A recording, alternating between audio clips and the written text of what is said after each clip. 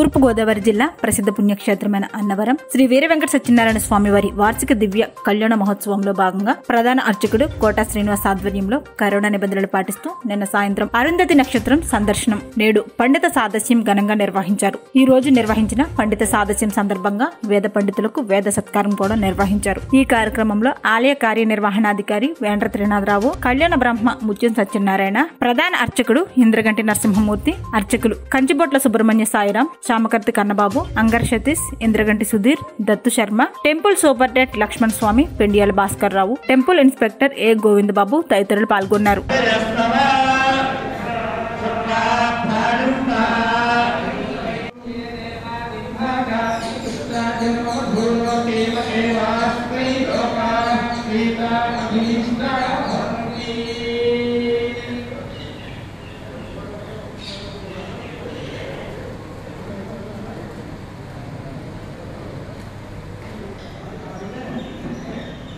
Thank